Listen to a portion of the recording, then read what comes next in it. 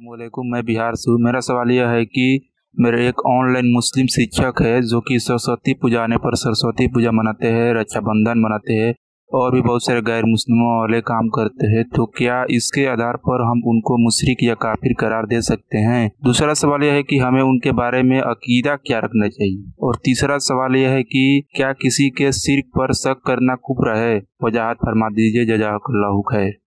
ये हमारे एक भाई साहब हैं, इनका सवाल ये कि इनके यहाँ एक मुस्लिम हैं मुस्लिम शायद वो टीचर हैं तो वो बहुत सारा काम ऐसा करते हैं जो गैर मुस्लिमों के होते हैं। यानी गैर मुस्लिम के जो दीनी मामलात होते हैं, जो मजहबी रसूमात हैं, उनको अदा करते हैं। तो ये फरमाते हैं कि फिर इनका क्या मामला होगा कि इनको जो है, ये मुसलमान रह जाएँगे कि नहीं रह जाएँगे, क्या मामला है इनके बारे में?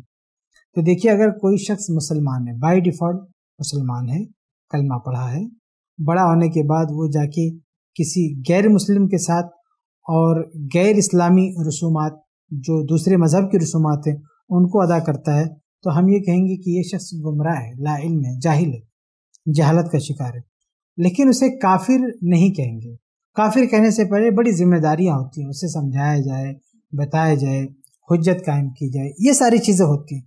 लेकिन बहरहाल उसे काफिर नहीं कहेंगे।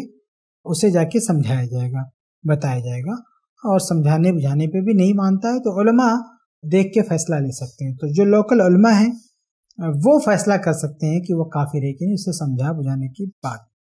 इतना आसान नहीं होता है कि किसी को गलत काम करते हुए देखें, उसको आप काफिर कहते हैं। इतना आसान नहीं होता है कि जो कलमा पढ़ चुका है, अपने आप को मुसलमान कहता है, मुसलमानों का दावा करता है, उसे आप इस बुनियाद पर काफिर कर दो।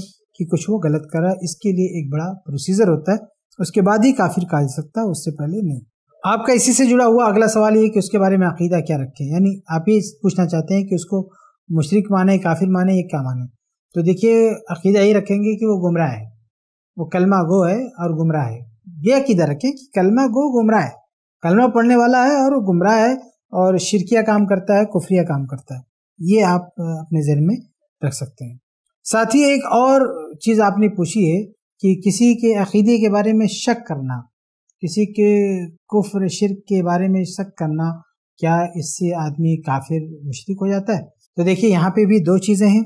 एक चीज़ ये है कि किसी काम को कुफरिया और शिरकिया मानना और दूसरा ये कि किसी शख्स को काफिर डिक्लेयर करना, काफिर का हुक्म लगाना। तो हुक्म नहीं लगाना चाहिए किसी को भी, ठीक है? अलबत्ता वो जो चीज़ है कुफरिया, शिरकिया, इसमें शक नहीं होना चाहिए कि इस चीज़ से कुफ्र हो जाता है। ये चीज़ शिरक है। जैसे अल्लाह के अलावा किसी और की इबादत। ये शिरक है। इसमें ज़र्रा बराबर भी शक और शुबा नहीं होना चाहिए।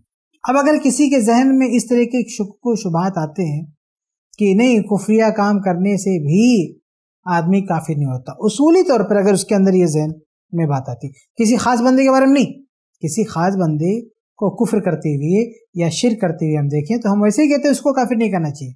एक बड़ा प्रोसीजर है। लेकिन उसूली तौर पर, उसूली तौर पर हमको ये मानना चाहिए कि ये काम कुफरिया है। ये काम शिरकिया है।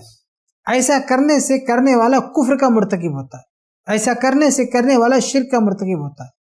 अब अगर हम उसूली तौर पर ये मान लें कि नहीं, ये काम शिरकिया नहीं है। ये काम कुफरिया नहीं है। इसको करने से आदमी काफिर नहीं होता है। इसको करने से आदमी मुशरक नहीं होता है। तो जो शख्स इस तरह का एतकाद रखेगा, खुद उसका ईमान भी रुखसत हो जाएगा। वो भी मोमिन और मुस्लिम नहीं रह जाएगा, जो ये मानने लगे, कुफरिया काम के बारे में ये मानने लगे कि ये कुफरिया काम नहीं है। ये जो है, शिरकिया काम नहीं है। जो सरी कुफरिया काम हो। बहुत ही क्लियर आवाज़ हो, उसमें इश्तिहाद की कोई गुंजाइश ना हो। तो इस तरह से अगर किसी का जहन बन जाए तो वो शख्स खुद काफिर होता है। लेकिन इन तमाम मामला में हम किसी खास शख्स को मेंशन करके काफिर ना बोले, बल्कि उसूली बात करें। उसूल की हद तक बात करें, उसूली बात करें, उन उसूलों को किसी पर अप्लाई ना करें। उसूली बात करें, इसी में, खैर है, इसी में भलाई उम्मीद है कि ये बातें आपके लिए वाजह हो गई ऐसे ही और वीडियोस बनाने में हमारी मदद करें। आई प्लस टीवी को ज़रूर डोनेट करें।